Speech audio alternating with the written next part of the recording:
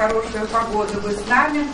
А мы начинаем наш вечер. Пожалуйста, чтобы всем было комфортно и выступающим. Отключите мобильные телефоны. Спасибо вам большое. Встречаем Игоря Валенский.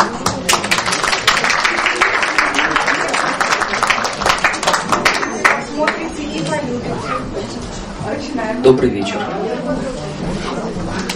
Спасибо вам большое, что сегодняшний предпоследний день зимы вы посвятили а, Джорджу Баланчину, и я надеюсь, что мы сегодня оправдаем ваши ожидания и не разочаруем. А, вы знаете, вот первая часть вечера, она будет такая антибалетная. Потому что, с одной стороны, я буду рассказывать, наверное, об одном из самых великих хореографов 20-го столетия, но при этом я буду очень мало говорить о балете, потому что э, предмет моего интереса, и для меня важно было самым главным, э, когда я начал заниматься баланчином, это его судьба, его история. Вы знаете, а началось все отчасти неожиданно. Три года назад я приехал в Тбилиси. И когда мне сказали, с кем вы хотите познакомиться в Тбилиси из интересных людей, я сказал, что Конечно же, с племянником Баланчина. Дело в том, что у самого э, Джорджа или Георгия Мелитоновича, как его звали, своих детей не было, было только 16 любимых женщин. А, а вот у его родного брата Андрея э, двое детей было. То есть это самые близкие э, родственники э, Баланчина. И меня познакомили, сказали домашний адрес. И вот я приехал на улицу, помню, академика Павлова, стоял дом, на котором я пытался найти мемориальную доску. Дело в том, что родной брат Джорджа Баланчина, Андрей Мелитонович Баланчевадзе, был одним из самых известных и самых, наверное, главных композиторов Грузии, но доску я не нашел, как оказалось, что ее и не существует, поднялся в квартиру и меня встретил такой э, художественного, такого богемного вида э, мужчина с такими с, с распущенными длинными волосами, который первым делом задал мне такой вопрос – о чем вы хотите со мной разговаривать? Если обо всем, диалога не будет. Сказал, ну вы знаете, я не обо всем, вот у меня есть предмет моего, э, э как меня интересует одна очень важная тема, это сказал, ну я понимаю, о чем вы будете говорить, но вы знаете, ко мне вчера пришли журналисты и задали вопрос, чем музыка отличается от живописи? Дело в том, что Джорджи Баланчевадзе, он художник. И Джорджа ответил, музыку слушают, а живопись смотрят, идите вон. И он такой был, в общем, очень сложный для э, журналистов, для собеседников э, человек с таким своеобразным характером. Ему на момент нашей встречи было 68 лет. И так получилось, что мы с ним подружились. Но я смею сказать так, потому что мы с ним виделись очень-очень долго. Я записал его воспоминания о дяде. И так случилось, что ровно год назад вышла моя книга об Аланчине на английском языке. И я позвонил Джорджи домой, хотел пригласить его на презентацию, и трубку взяла его жена, и по ее голосу я понял, что что-то что случилось. И когда я спросил, как ваши дела, как вы поживаете, меня долго не было в Грузии, она сказала, вы что, ничего не знаете? Джорджи умер. Ему было 69 лет. И потом, когда я пришел к ним домой, и его жена Китаван Мачевариане, она сказала, что я очень счастлива, что Джаджи успел рассказать вам историю нашей семьи. Историю, к сожалению, не написанную, но теперь она, надеюсь, будет написана, сказала Китаван. И, в общем-то, я постарался выполнить ее обещаний. Вот сегодня я хотел бы поделиться с вами какими-то семейными историями Георгия Мелитоновича Баланчевадзе, такого неизвестного Джорджа Баланчина. История началась в 1904 году в Петрограде, в Петербурге тогда, когда у Мелитона Баланчевадзе родился сын. Сына назвали Георгий, но в семье, оказывается, их звали так – Жоля, Люля и Тама. А, Жоля это был Георгий Баланчевадзе, а, Люля это был Андрей, а Тама это была сестра Тамара. Вообще о существовании а, родной сестры у Георгия Баланчевадзе практически никому не известно, и я попытаюсь вам рассказать, почему так случилось. Мелитон Баланчевадзе, глава семьи, вообще он был а, очень хороший певец первую очередь.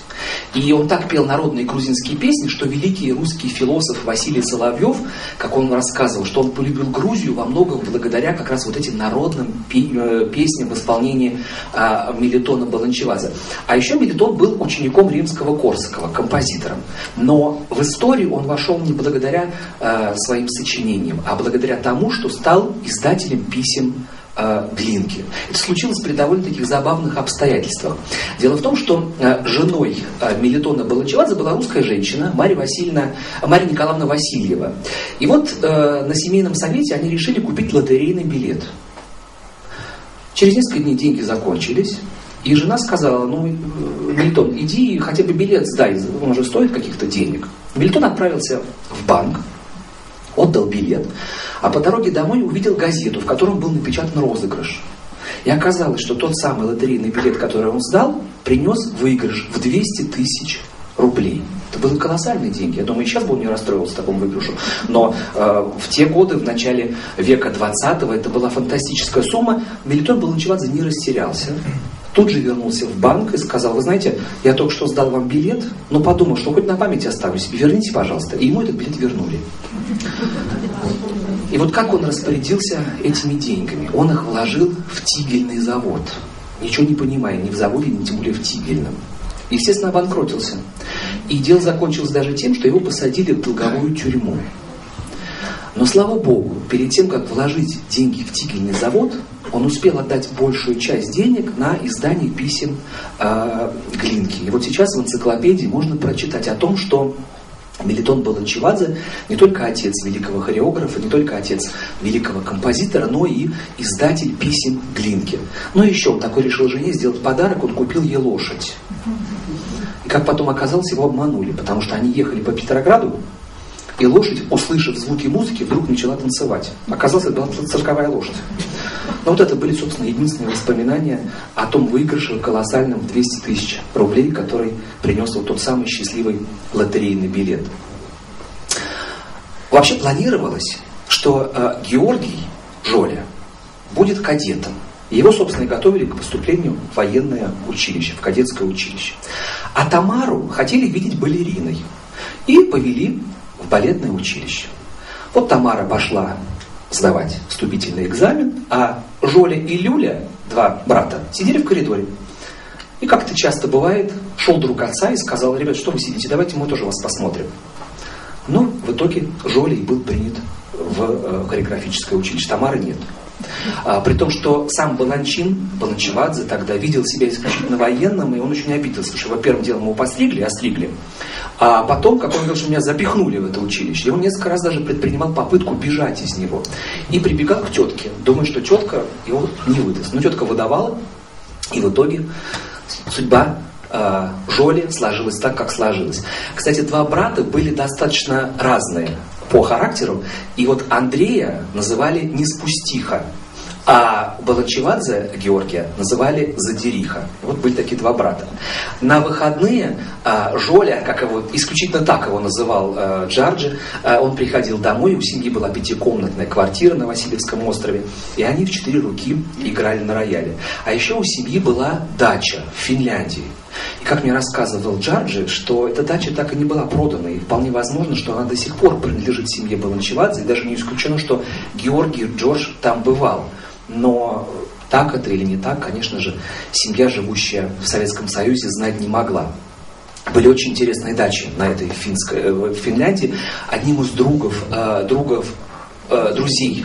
Одним из, видите, я уже перевожу с грузинского на русский. А, один из друзей э, Мелитона Баланчевадзе был Луарсап Андронников, отец в будущем знаменитого э, искусствоведа, рассказчика Ираклия Андронникова. Э, был еще человек очень интересный среди гостей, э, среди друзей. Это его звали Алексей Церетели. Алексей Церетели был, во-первых, сыном великого э, грузинского поэта, который самому широкому кругу известен как автор э, слов к песне Сулико. Э, так вот, Алексей Церетели, он стал антрепренером, и именно он э, привозил за границу э, оперы, в которых выступал э, Федор Шаляпин, общем, был такой очень, очень знаменитый и состоятельный человек. Ну а потом случился 17-й год. Жизнь в Петрограде стала очень сложной, и Мелитон решил отправиться на родину. Он уехал в Кутаиси. На тот момент ситуация сложилась, что э, Россия стала уже советской страной, а Грузия до 21 года сохраняла независимость в стране был президент, был парламент, и поэтому жизнь, конечно же, там была совсем другая. И поэтому письма, которые мне показал Джорджи, эти письма, которые Мелитон отправлял своей семье, оставшейся в голодном Петрограде, 13 лет было Жоле, Георгию, 11 лет было Андрею, маленькая сестра Тамара, была мать. И, конечно же, он старался сделать все, чтобы семью вывести. Вывести в Грузию, где жизнь была, конечно же, не сравнить с той, которая была в голодном Петрограде. И в 18 году это случилось. Жена Мария Николаевна вместе с сестрой Тамарой и с э, сыном Андреем уехали, а э, Георгий остался, потому что он учился в том самом театральном, театральном училище. И так получилось, что вот первое разделение семьи на два лагеря, свободный и коммунистический, оно случилось уже тогда. И много позже, ну немного позже, через несколько лет так случится, когда Баланчин станет Баланчиным, а семья Баланчевадзе останется в Советском Союзе. Последняя встреча сына Георгия с отцом состоялась в 23 году. Дело в том, что Мелитон Баланчевадзе э, очень хорошо устроился в Грузии. После того, когда Грузия потеряла свою независимость, он стал э, служить э, в наркомате просвещения. То есть в Министерстве культуры, да, если переводить на язык сегодняшний, он был заведующим музыкальным отделом. Вот он приехал в Петроград, они увиделись с Георгием, э, и Мелитон потом рассказывал, что это было очень грустное зрелище.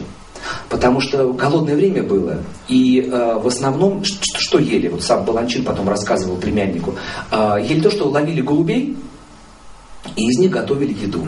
Или ставили всевозможные сценки в цирке, и за это получали паек. Самый большой паек, это самое большое счастье, это был сахар или кусочек сала.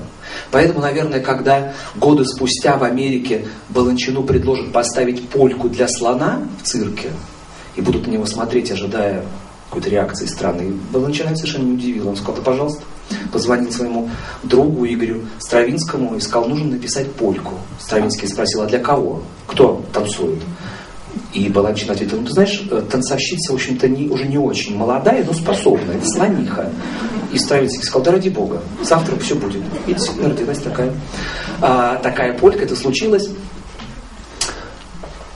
Семья Баланчевадзе, та, которая осталась в Грузии она жила, в общем-то, неплохо, потому что в те годы еще советская власть не так сказывалась, и все-таки была э, жизнь красивая, вкусная и радушная, а э, Баланчин, Баланчевадзе, Георгий, вот так и прям хочется говорить, все-таки Дягилев был прав, да, все-таки Баланчин как-то попроще, чем Баланчевадзе, но тогда еще Георгий Баланчевадзе, он создал труппу, которая называлась «Молодой балет».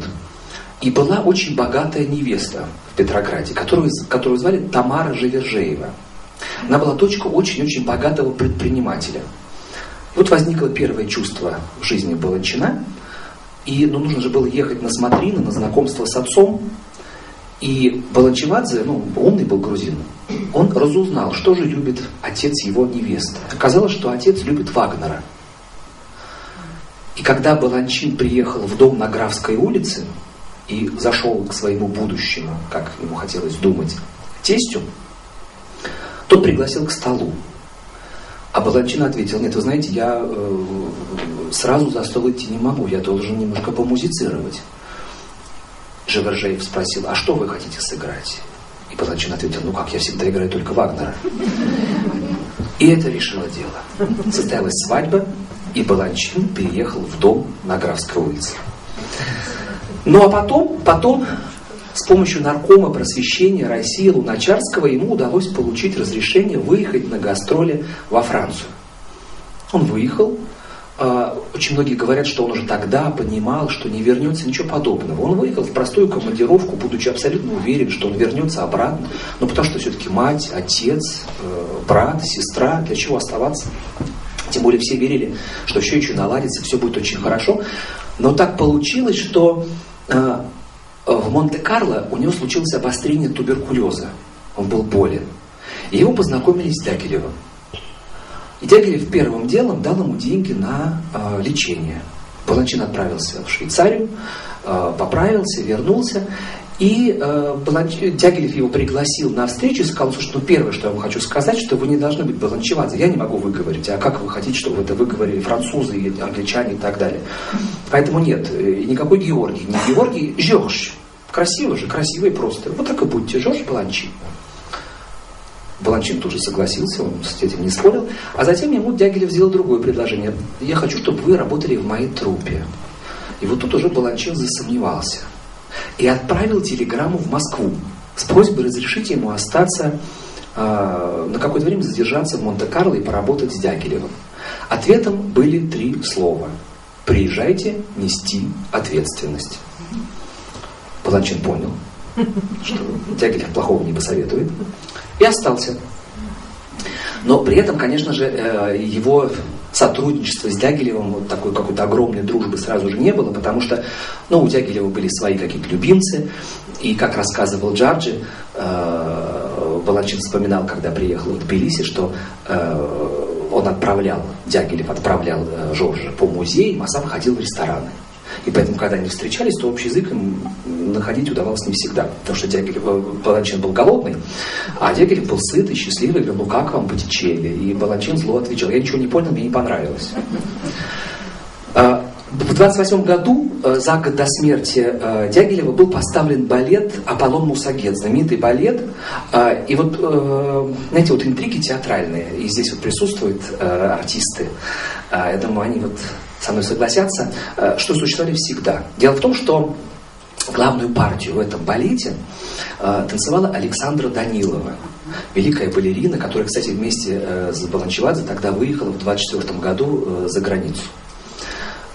Но финансирование для своего балета Дягилев получал от одного англичанина. А у англичанина была фаворитка балерина Алиса Никитина. И тогда Дягилев решил главную роль дать вот ей. Ну, Данилова, ну станцевала же, потом станцует. А тут он пригласил этого лорда, станцевала Алисия Никитина, балет был чудовищный совершенно, не получился. А, было большое расстройство, но ситуацию спасла никто иная, как Габриэль Коко Шанель. Она тоже присутствовала на этом балете. И ее не тронула, конечно, Алиса Никитина, ее тронули страшные костюмы, которые были у балерины. Она сказала, Серж Дягилев, что ты делаешь? Приезжайте завтра ко мне, я все поправлю. И вот Баланчин потом рассказывал, что они действительно приехали на улицу Камбон, дом 13, и уже все было готово. Шанель за ночь подготовила эскизы костюмов, и потом уже этот балет, знаменитый Аполлон Мусагет, было такое триумфальное шествие по миру. Дягилев умер в 29 году. И, э, в общем-то, это сказалось на всех артистах его труппы. Какое-то время Баланчин пытался работать э, с труппой Монте-Карло, э, балет Монте-Карло. Там была очень талантливая балерина, их называли бэби-балерина, бэби, потому что маленькая. Она начала танцевать в 9 лет, Тамара Туманова, Туманишвили. Она была тоже грузинка, и она начинала танцевать э, в классе Преображенской. И вот однажды я тоже в Тбилиси познакомился с племянницей Тамары Тумановой, которая мне рассказала ту историю, что однажды э, в класс к Преображенской, пришла бы заниматься Павлова. Ну и пока девочки занимались, среди девочек была Тамара Туманова маленькая, э, значит, Павлова села э, на скамейку, а рядом сидела мама Тамары Тумановой. И она не узнала Павлову и сказала, как вам моя Тамарочка, самая лучшая, по-моему, да? Павлова сказал, ну, ничего. Мать обиделась, эта реакция, сказала, ну вы сами-то болеть что-нибудь понимаете? Павлова ответил, немножко. И вот э, Тамара Туманова, она стала такой одной из любимых балерин Баланчина, и потом даже рассказывали о том, что у них был роман. На самом деле никакого романа не было, и когда спустя много-много лет э, Тамара Туманова в Америке, в русской церкви выходила замуж, то она все время оттягивала э, венчание, оттягивала, оттягивала, и было понятно, что она кого-то ждет. А оказалось, что она ждала Баланчина. И когда Баланчин пришел на это венчание, Тамара сказала, что для меня это самый большой подарок, потому что пришел мой отец. В 1933 году Баланчин встречает э, молодого человека, выпускника Гарварда, Кирстайна. Э, Кирстайн был очень богатым человеком, который предложил Баланчину уехать в Америку, и, в общем-то, вместе с ним они создали э, балет Нью-Йорка. У Кирстайна было три правила, которым он общался с артистами. Первое правило – никогда не искать справедливости. Второе правило – никогда не жаловаться. И третье правило – молчать. Поэтому компанию они с Баланчиной построили очень крепкую. Вначале была хореографическая школа, а потом появился вот тот самый, тот самый Нью-Йорк-Сити балет, основателем которого и был Джордж Баланчин. Но это все происходит в Америке. А что тем временем происходит в Советском Союзе, где осталась родная сестра и родной брат? С сестрой, к сожалению, получилась очень грустная история. Тамара Баланчевадзе ее усыновил дядя, родной брат отца Иван Баланчевадзе, у которого не было детей. Она переехала жить к нему в Петербург, окончила художественное училище и какое-то время работала театральным художником. Потом приехала в Тбилиси, работала у Маджанишвили, сотрудничала с Еленой Ахвледиани, это знаменитая грузинская художница, подруга Святослава Рихтера в будущем. А потом она вышла замуж, вышла замуж за немца по имени Хаген. И вот в 1935 году Тамару Баланчевадзе вызвали туда, куда нужно было вызвать, и сказали, что вы должны определиться, либо вы с Хагеном, либо вы с советским народом. И на семейном совете было принято решение, что Хаген уедет в Германию и вызовет к себе Тамару, и они будут жить-поживать, но уже в Берлине. Хаген уехал, и больше никаких, никаких известий от него не было. И вот Тамара осталась одна, она переехала тогда уже в город Ленинград и стала работать в театре кукол э, Сергея Образцова. А потом началась война. И Андрей Баланчевадзе, ее родной брат, смог достать для нее пропуск на последний поезд. И в этот поезд попала бомба. И вот так закончилась судьба Тамары Баланчевадзе, э, женщины, о существовании которой, к сожалению, до вот недавнего времени, сейчас, когда стали появляться книги, я пытаюсь что-то об этом писать, и даже нашел две фотографии. И эти фотографии есть вот в книге «Загадки любви», которая одна из глав посвящена Баланчину.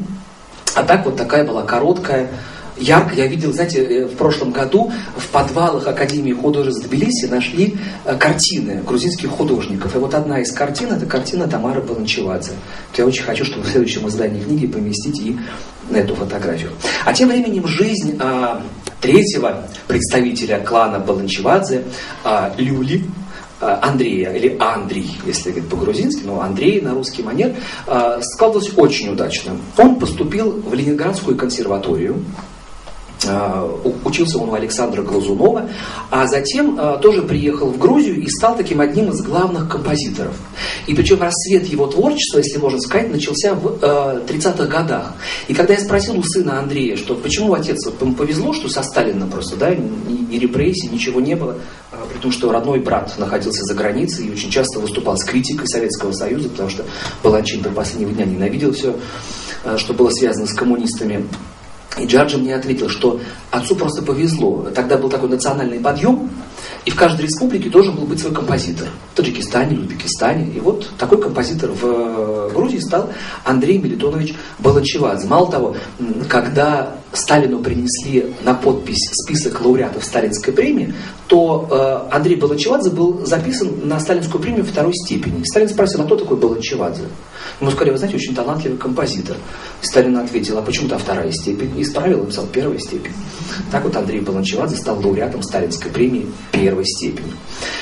Но, конечно же, не все было тоже гладко. Один из балетов, который он поставил, «Сердце гор», э, дирижировал Евгений Микеладзе. Это был великий, э, великий совершенно дирижер, э, которого очень любили и привечали, в том числе и в Москве. И вот однажды, когда они вернулись из декады советского искусства в Москве, увенчанные славой и обласканные Сталиным, Микеладзе вызвали к Берии кабинет и арестовали.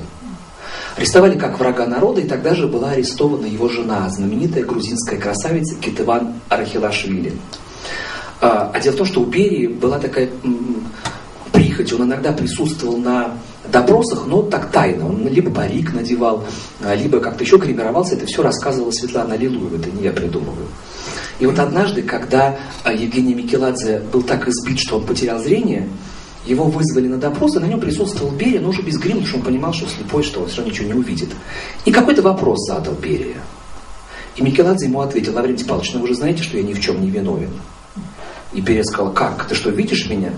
А Микеладзе ответил, я ослеп, но не оглох. Вы же знаете, какой у меня слух. И тогда Берия взял гвоздь и воткнул ему в ухо. И он умер прямо на, а, на этом допросе. Это была очень страшная история. Но почему я не рассказываю? В том числе и потому, что жена Евгения Микеладзе, Китывана Рахилашвили, она была очень хорошая знакомая Андрея Баланчевадзе, и когда она тоже была осуждена, э, провела очень много лет в лагере для, так назывался, Алжир, это был лагерь для жен изменников Родины. И вот когда она вернулась, то ее история настолько потрясла грузинского режиссера Тенгиза Абуладзе, что вот фильм э, «Покаяние», знаменитый фильм, во время премьеры которого в Москве стояли кареты скорой помощи, потому что людям становилось плохо во время просмотра. Вот именно ее судьба во многом легла э, в основу героини этого фильма. И когда, вот знаете, вот финальный момент, э, когда э, Велико Аджипаридзе задает вопрос, эта дорога ведет к храму, а женщина украшает э, торт э, фигурками. Вот эта женщина как раз и была Кетевана Архилашвили, но ее прототип. Это была такая история, и она потом, продол... вернувшись из лагеря, она продолжала общение с Андреем Баланчевадзе. Вот Баланчевадзе стал таким одним из самых известных, наверное, композиторов Грузии. Его балеты шли в Большом театре, два балета. Правда, однажды, вот я сегодня приглашал э, Михаила Леонидовича Лавровского, но он, к сожалению, не смог. Это знаменитый э, танцовщик, народный артист Советского Союза. Вот его отец как раз, он танцевал в балете «Жизнь», который написал э, Андрей Баланчевадзе. И так получилось, что уже ехали вагоны в Москву с декорациями и в последний момент отцепили вагон. Тогда Андрей Полончевадзе, ну, балет в Большом театре, конечно же, любому композитору хочется, чтобы балет шел на главной сцене страны. Он позвонил Берии и сказал, что Леонид Павлович, ну вот потрачены народные деньги, он думал, что он этим зацепит Берия, что вот а какая-то странная история, отцепили вагон. И Берия ему ответил одной фразой, семь раз отмерь, один отрежь, и положил трубку. Как потом мне рассказывал его сын Джордж, что, наверное, Перри хотел показать, что думай, кому звонить можно, кому нельзя и когда это можно делать. Никаких последствий, к счастью, печальных для э, Андрея Баланчевадзе это не имело, но и нужно отметить, что это действительно был очень такой честный и цельный человек, потому что когда э, на одном из собраний ему сказали, что вы должны выйти и э, раскритиковать Шостаковича, то он вышел на трибуну и сказал, самый великий советский композитор, его имя Дмитрий Шостакович.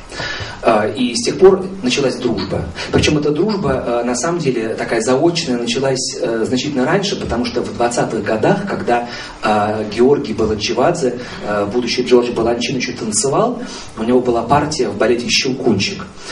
И был молодой студент, Дмитрий Шостакович.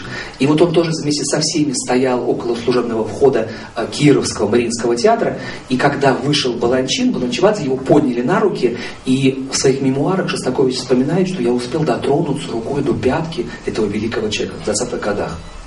Ну а с тех пор, конечно же, когда он узнал, как э, его поддержал Андрей Баланчевадзе, они стали очень близкими друзьями. Он часто был в гостях э, в Тбилиси. И каждый, э, каждый день рождения Андрея Баланчевадзе начинался со звонка Шостаковича. Он вообще ничего не боялся. И когда к нему пришли подписывать письмо против э, доктора Живаго, открыл дверь Баланчевадзе Андрей и сказал, что ну, это же запрещенная книга. Ну, сказали, да, а я запрещенную книгу не читаю, вы что, читаете? Люди развернулись и ушли. Общения с братьями не было никакого. Только до где-то середины 30-х еще приходили письма из Америки, приходили журналы, в которых семья видела фамилию Баланчин, фотографии, а потом всякое общение прекратилось. Мало того, э, это стало даже очень опасно, потому что э, Баланчин постоянно выступал по радио с критикой советского строя, и это очень сказывалось на семье. Э, Джорджи Баланчевадзе, племянник Джорджа, рассказал мне, что из-за этого его не приняли в комсомол. Хотя, он говорит, нет, не из-за этого, а благодаря этому меня не приняли в комсомол. А сестра родная, Цискари, Цискари, значит, Заря по-грузински, она сказала, меня приняли.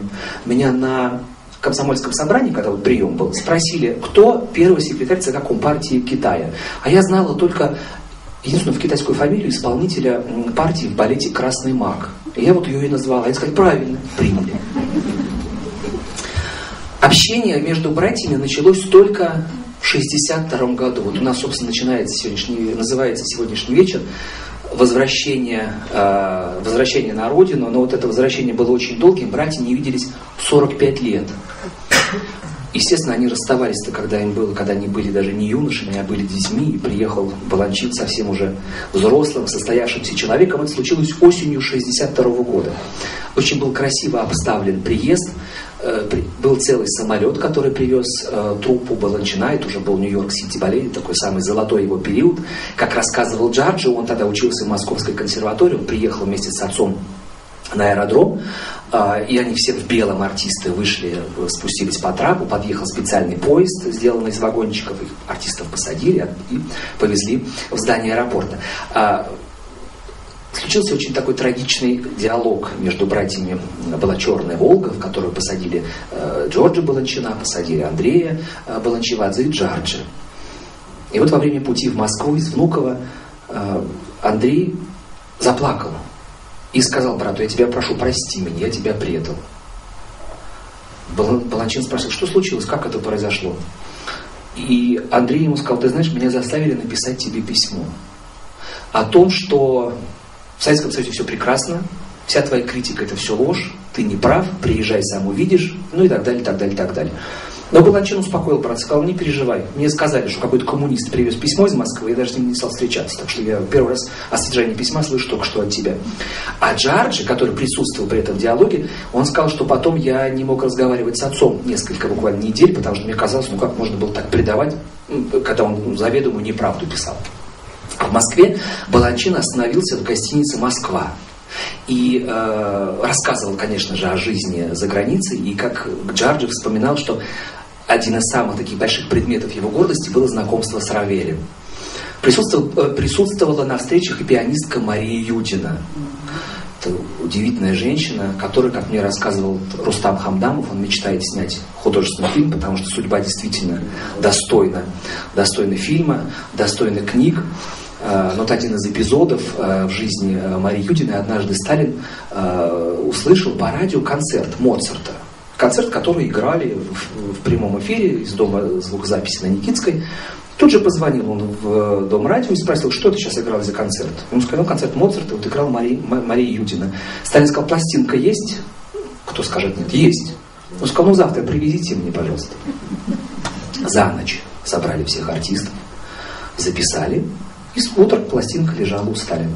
Сталину так понравилась игра Юдины, что он дал ей премию 25 тысяч рублей. Юдина написала ему в ответ письмо, что от человека, который так издевается над своим народом, принять деньги я не могу. Я отдам их в церковь, чтобы там молились за, если это возможно, за э, вашу душу. И, слава Богу, Сталин сумел понять, кто такая Юдина, и тоже все обошлось, и она дожила свою жизнь и умерла своей смертью. Так вот, Мария Юдина была среди тех, кто встречал Баланчина. Дело в том, что Юдина очень хорошо играла э, Стравинского. Одна из первых исполнительниц была Стравинского. И вот когда в следующий раз в Москву приехал Стравинский, то Юдина уже готовилась к встрече с ним. И Игорь Федорович ее не пригласил. Это была такая обида у нее. Она не могла понять, почему же Стравинский не захотел с ней познакомиться лично. Ну и, конечно же, первый гость, кому отправился Баланчин, это был э, Дмитрий Шостакович. Они встретились. Многие хотели принять Баланчина, но они не могли, потому что Баланчин ходил с огромной свитой и просто ну, квартиры не вмещали. Тогда представления были в Кремле, не в Большом театре, а в Кремлевском дворце, и э, э, Джорджи мне рассказал, что к нему в антракте подошел э, Хачатурян и сказал, боже мой, что же это было? Это же это, это что такое? Правда, потом в правде вышла его огромная статья, но как Джарди, что мы отнеслись к этому с пониманием, ну, было положено так. Но, вот, но тем не менее, Хачатурян был в большом таком восхищении от, э, от балетов Баланчина. Кстати, самого Баланчина обвиняли в бездуховности его постановок. В, в ответ Баланчин говорил, а вы что, в Бога верите? Вы мне такие вещи говорите? Кстати, э, неожиданно он исчез из Москвы, Баланчин. Дело в том, что в тот момент э, случилось обострение из-за Карибского кризиса, и Джордж, э, Джон Кеннеди, который был другом Баланчина, он ему позвонил, сказал, приезжай, ну, была угроза Третьей мировой войны. на несколько дней Баланчин уехал, потом, когда все успокоилось, снова вернулся в Москву и снова присутствовал здесь. Ну и, конечно же, он поехал в один из дней в Тбилиси. Вот странная история. Его мать, Мария Николаевна, которая прожила большую жизнь, она умерла уже в 50-х годах. Самый любимый сын у нее был вот ее Жоля. Она постоянно про него говорила. А когда Баланчин приехал в Тбилиси, и брат сказал, ну что, первым делом он сказал, идем к матери на могилу. И Баланчин сказал, ну потом как-нибудь. И фактически силой брат повел его на могилу, потому что он почему-то никаких, э, никаких эмоций и, и желаний э, поклониться могиле матери не проявлял. А вот к отцу наоборот. Отец был похоронен в Кутаисе, и Баланчин специально дал э, такой выходной день своей трупы. Они поехали в Кутайси, и там он познакомился со своим братом. Дело в том, что Мелитона, у Мелитона было несколько жен. Так что, в общем-то, Георгию Мелитоновичу было в кого.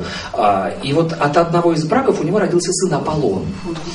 Аполлон был э, намного старше э, и, и Георгия, и Андрея, и он успел в царское время быть жандармом. И после того, после того, как случился приход советской власти в Грузию, э, его, конечно же, на работу нигде не брали, он стал священником. И вот состоялась встреча братьев э, Георгия, Андрея э, и Аполлона в Кутаиси у могилы, у могилы отца. Но, правда, дружбы такой между братьями не было. Вообще на э, Баланчевадзе, на Баланчина э, тогда произвело плохое впечатление в Тбилиси, э, потому что он сказал такую фразу «город людьми одевается». А он был окружен таким количеством КГБшников, что никто не мог с ним общаться. И вот он в своей бабочке, которая была в форме э, расцветки э, американского флага, ходил по проспекту Руставели, хотел общаться с людьми, а к нему никого не подпускали. Ему очень не понравилось, и еще он был удивлен, как в Грузии вообще что-то может происходить, потому что он говорит, ну вы все время за столом сидите, вы что только едите и пьете, когда вы что-то делаете. При том, что надо заметить, Баланчин сам вино очень любил, называл таким, говорит, две сестры, белое вино, красное вино, две сестры. И там же в Тбилиси состоялась его встреча с другом его юности э, Ильей Сухишвили, создателем легендарного ансамбля Сухишвили Рамишвили. Дело в том, что когда в 24 году э, Баланчин решил уехать за границу, он хотел взять с собой, приглашал с собой поехать и Сухишвили. Тот остался, он сказал, что я хочу создать что-то такое, что я могу сделать только в Грузии. И действительно, он создал ансамбль народного танца, легендарный совершенно коллектив, э, неповторимый. И вот когда они в 62 году в Тбилиси встретились, Илико Сухишвили сказал Баланчину, ты знаешь, ты прав, что ты уехал, конечно, но я прав, что я остался. Мы смогли сделать то, что мы могли сделать именно там, где мы с тобой находились. Братья, э, несмотря на то, что 45 лет они не виделись, э, ну, быстро им удалось найти общий язык, причем общались, они не знали грузинского языка, они общались на таком литературном э, русском языке, и Балачин очень хотел поставить музыку своего брата в Америке, приглашал его, но, к сожалению, никакого сотрудничества не получилось. Андрей уезжал к брату на месяц, на полтора месяца провел в Нью-Йорке. Единственное, что привез, это такая бейсболка была, тогда это была сенсация, что это странная шапка. А, но а, сотрудничество, к сожалению, не получилось, а уход из жизни самого Георгия Баланчевадзе, он был очень трагический и очень странный. В апреле 1983 года ему было 79 лет. Ему сделали операцию на сердце. И он сам прислал телеграмму в Тбилиси, что я поправляюсь, все очень хорошо и надеюсь вас скоро увидеть. А следом за этой телеграммой пришла еще одна телеграмма, что Джордж Баланчин скончался. Андрей Баланчевадзе хотел поехать на похороны случился, наверное, одним, один из самых таких странных историй, когда раньше же не выпускали советские власти за границу, а тут они, наоборот, его старались отпустить, потому что они хотели, чтобы он решил вопрос с авторскими правами, чтобы балеты Баланчина могли идти здесь. Но его не впустила американская сторона. Причина была такая, что в Нью-Йорке нет консульства советского, и поэтому очень долго оформлять приглашение. И в итоге, а, когда а, уже прошли похороны, стало известно, что Баланчин написал завещание. Причем завещание очень подробное. Вилки, ложки, кому что и так далее. И это очень странно для грузина. Грузин таких вещей ну, не опускается до того, чтобы отписывать кому две чайные ложки и три э, блюдца передать. Ну и, и, конечно же, Баланчин передал э, все свои балеты. Э, он поставил 435 балетов. Он это передал, как он сказал, своим любимым женщинам, то есть фонду Баланчина. Но Андрею Баланчевадзе тоже досталось. Наследство он получил золотые часы. И больше ничего. И с этими часами я сказал Джорджа, вы можете мне показать эти часы? Он сказал, нет, вы знаете, в 90-х годах, когда в Грузии была гражданская война и была очень тяжелая, тяжелая жизнь, мы эти часы продали. Причем продали по весу. Потому что э, надпись выгравированная о том, что вот это часы Баланчина никому не трогали. Сказать, они весят 20 там, или 30 грамм, вот вам 100 рублей. И так последняя реликвия, связанная с Баланчиным, она тоже исчезла. Э, собирал картину, у него был очень такой дом э, богатый. Кстати, он сам называл свой дом Духаном. Духан по-грузински, значит, такой ресторан. Э, сам готовил э, еду грузинскую. Знаете, вот его письма, я их читал, э, у Джарджи, Джарджи их хоронил, они никогда не, не проставлена дата. И определить, когда написано, можно было, потому что он пишет о своих женитьбах. Он пишет, мама, ты знаешь, я наконец встретил свою судьбу. Ее зовут, и пишет имя, дай нам благословение. Потом приходит спустя время еще одно письмо. Мама, ты знаешь, моя прекрасная невеста Вера Зорина. И пишет про Веру Зорину. И каждый раз читаешь и веришь, думаешь, ну вот правда, наконец-то случилась та самая встреча. И так вот много-много таких достаточно писем. И потом, когда я их раскладывал, я уже пытался разложить по э, тому времени, но я знал, когда э, и кто становился спутницей жизни Баланчина. Кстати, как сам говорил Баланчин своему племяннику, что это не я уходил, это они меня бросали. А, и вот так закончилась история, история Джорджа Баланчина. Но, знаете, вот могу вам по секрету рассказать, сын Джорджи, то есть внучатый племянник Баланчина, он стал художником, его зовут Антон.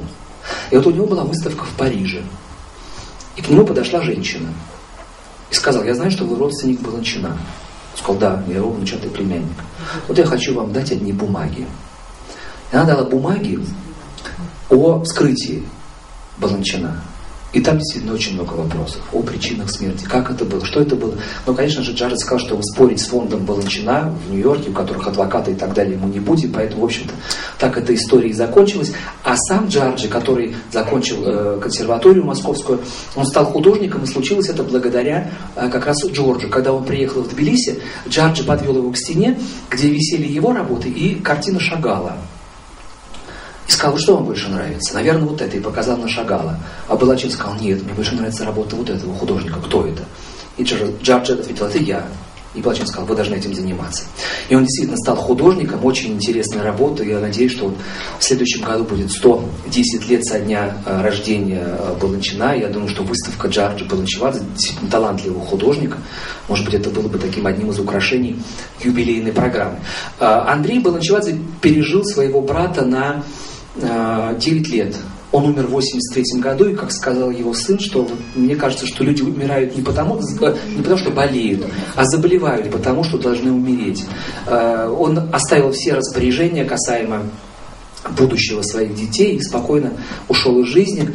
И единственное, о чем переживает, переживал племянник Баланчина и сын Андрея Баланчевадзе, о том, что произведения отца сейчас не исполняют. А когда не исполняют, ну как можно, как можно оценить, хороший композитор или плохой. И вот на сегодняшний день остался один только человек, продолжатель э, династии, это Цискари Баланчевадзе, это родная племянница, она балерина. Э, когда э, Баланчин приезжал в Тбилиси, конечно же, его повели в оперный театр, которым руководил тогда Вахтанг Чебукяни, э, показали, но такого сотрудничества не получилось. Я спросил, вам обидно, наверное, что дядя не поставил балет на вас? И он сказал, нет, ну подумаешь.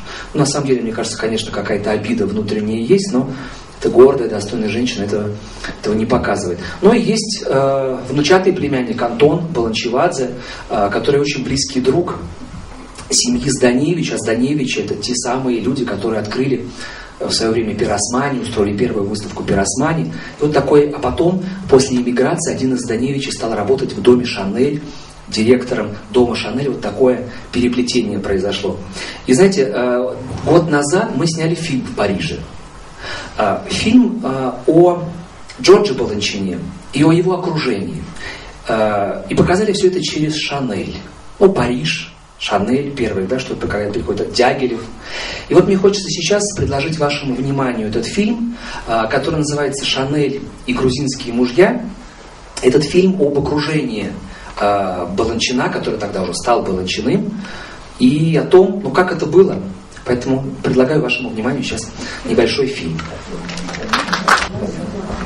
А, благодаря которому Георгий Баланчевадзе стал а, Жоржем Баланчиным. А, Наталью Ретивов, она актриса, и она двоюродная правнучка Сергея Дягилева. Мало того, она как житель